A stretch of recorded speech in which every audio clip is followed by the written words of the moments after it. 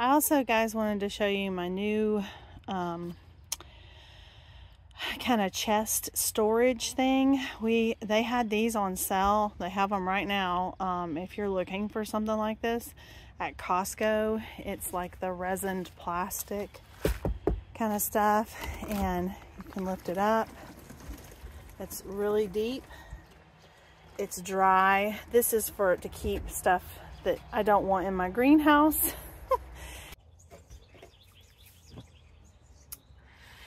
Hi guys, welcome to the greenhouse. Um, my name is Brandy if you're new here. And um, today I have been out here. Actually I was doing a lot of chicken chores and things that needed to be done.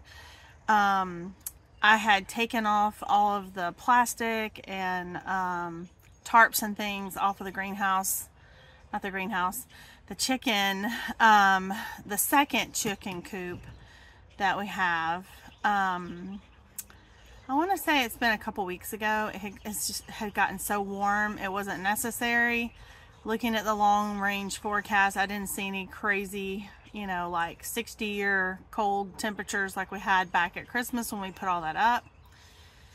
And we we cut everything so that we can just tack it up and use it again when needed. So I got like a um, tote with a lid and went and I, I had been storing it inside that other chicken coop because we had it closed off and um, we weren't using it.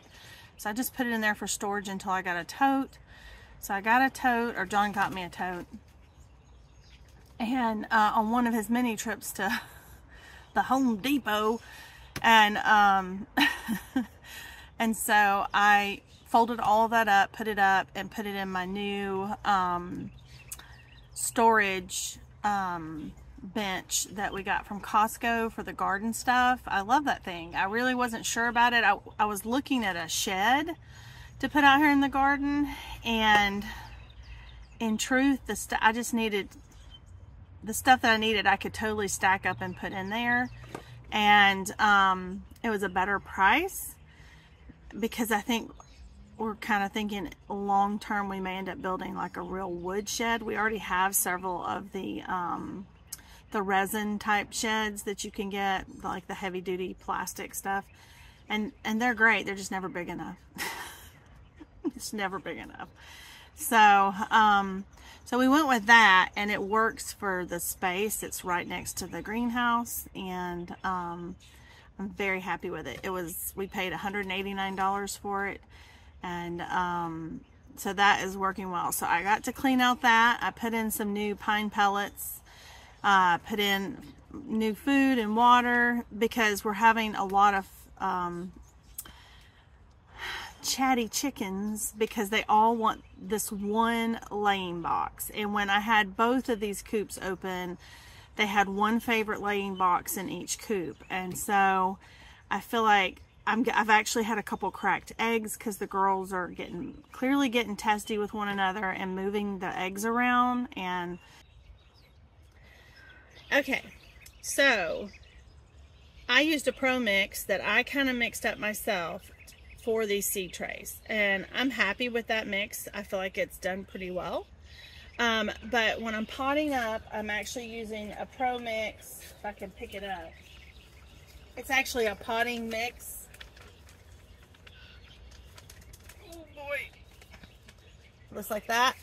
I got this one at Walmart. I think I got it last fall and I have it down here at the ground and so what I try to do is I try to get probably about two-thirds of the cup with some soil and I put a big like with my finger I kind of hole out the middle and if you watched my other video you saw I use this little tool and I'm gonna be real honest I think it's an artist tools and I used it for get scooping out my plants and or raking things over. I use that to rake the soil over, um, depending on how I was supposed to plant and start, you know, the different seeds and stuff like that. So I'm, I'm almost positive this is one of my other grandmother's artist tools.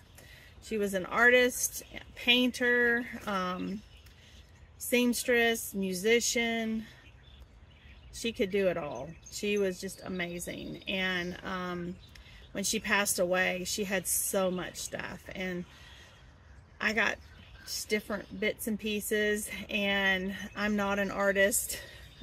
My son is. Um, and matter of fact, he has a lot of her he actually still uses some of her old brushes and things that she had and took care of and just things that probably not quite made the same way nowadays as they were back then and um but there were just things that I found I could use and this is one of them and so yeah. So that's all that is but you uh, the other thing we've used in the past is a painter's key. You could use that too. So anyway so I'm going to take some of this soil.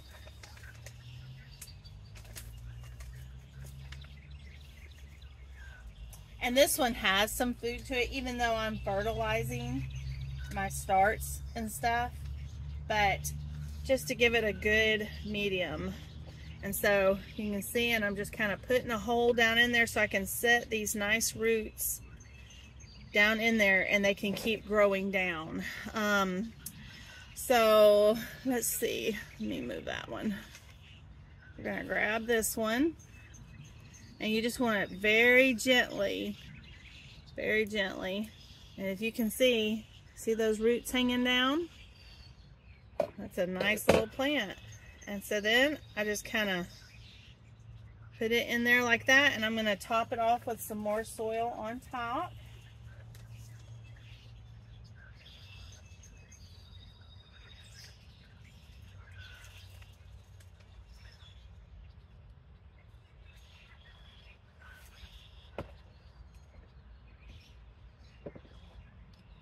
And I've already labeled my cup cauliflower. This one is the uh, Flame Star cauliflower. I think this one was a Hoss. I'm pretty sure this was a Hoss seed. And I'm just going to put it in my tray over here with my broccolis and my chamomile tea. So that's how easy it is. I'll do, um, I'll do one more. I always try to do that when I'm canning and showing stuff because kind of like when somebody's giving you your phone, a phone number, you know, and you get half of it written down. And you're like, I don't want to have to listen to this whole message again because I didn't get all the phone number. It's so nice, those people who will repeat the number a second time. My, my number is, and you say it again, and then you're like, oh, thank you. Thank you so much. I know I cannot be the only person who struggles with that. All right, so I'm gonna put this one down in our little pot and we're gonna add some backfill, some soil in it.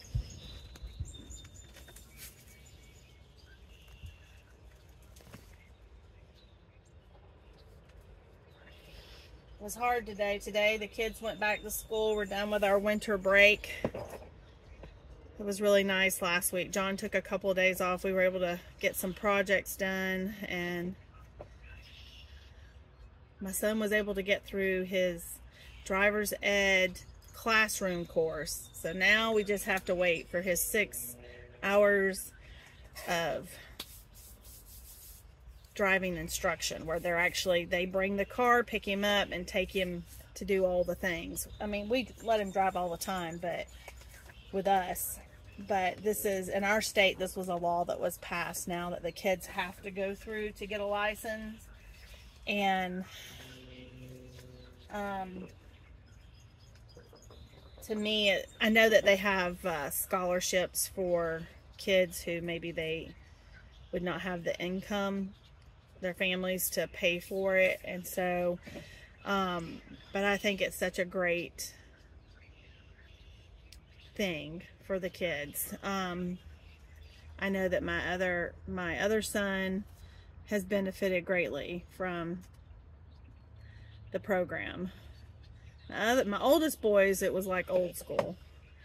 So if you can see the roots. And so just sitting them down in there.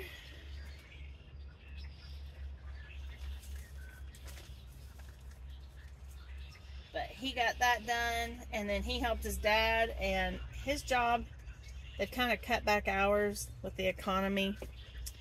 A lot of things, businesses aren't doing as well. But they still seem to do okay like on the weekends. So he's been working weekends So he was happy to work at home building a fence and he did a lot of garden work stuff for me building beds and he he got paid well to help him because he's saving for a car. So so the next part is once you get these you get your starts in their new part, their new setting, you want to give them some water. Now I have water in the bottom of the tray that has some fertilizer, but I want to, this is a new water I got and I love it.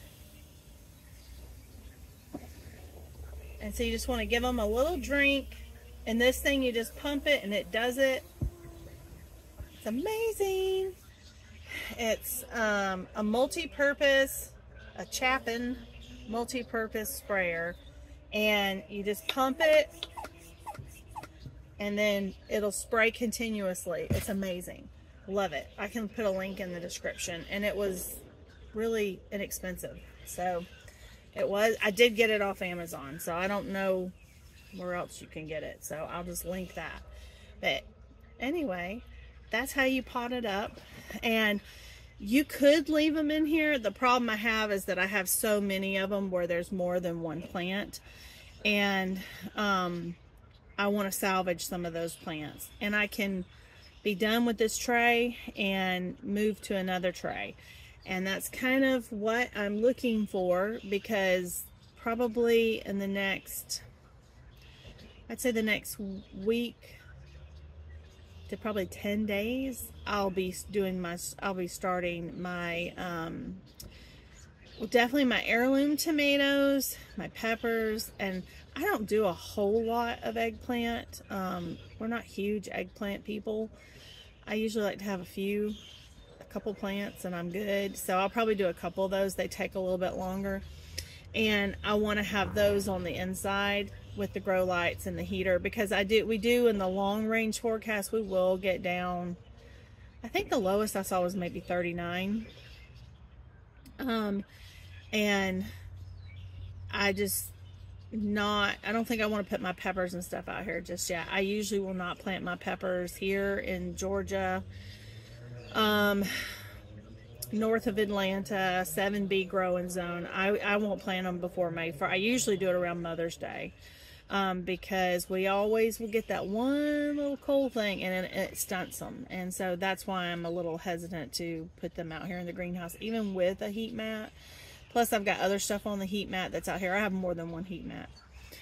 So that one I probably will just move to the inside setup.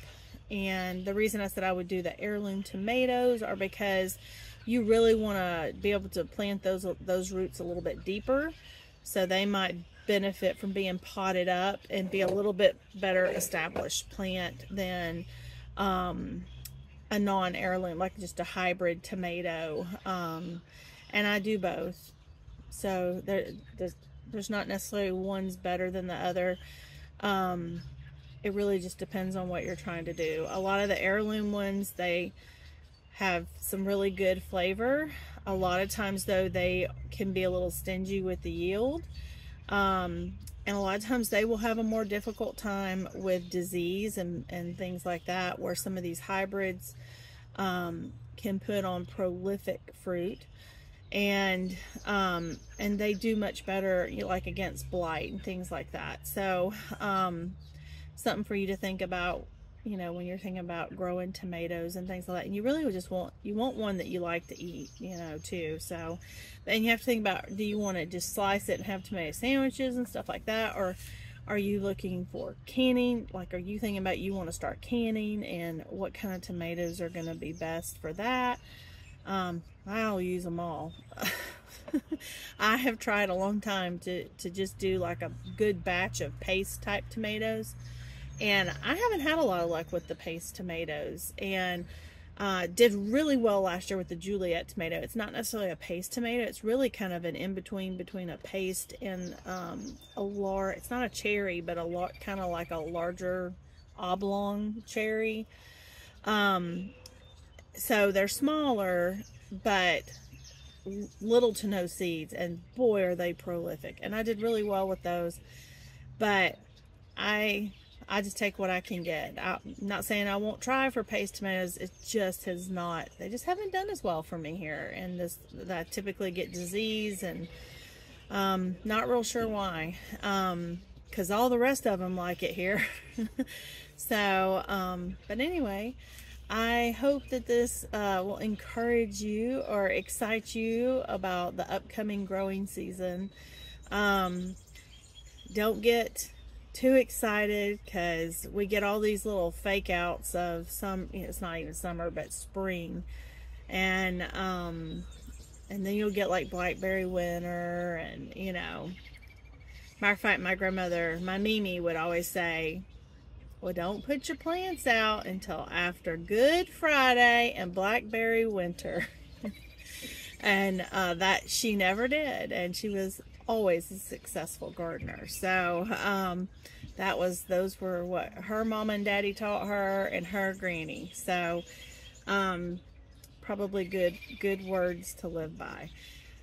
However, you can plant cooler weather crops um, and should, especially if you live in somewhere like Georgia or because if you don't, they won't have enough time to mature and then they'll bolt. And so, but for warm weather crops, yes, the the black after blackberry winter and good friday are always some good ones to follow. But anyway with that i hope that you have a great day. And um, if you are starting some seeds for the first time or you're an old pro at it tell us tell me about it in the comments. Um, if you have a great tip that might be helpful to any newbies or even folks like me who think they know what they're doing. we always can learn things. I am I love to learn things and I especially love to learn from people who are a little bit more seasoned than I am and I appreciate that they have um, good information to share. And so if you have any of that, please feel free to put it in the comments below and allow us to glean from you. So with that, I will see you next time. Bye.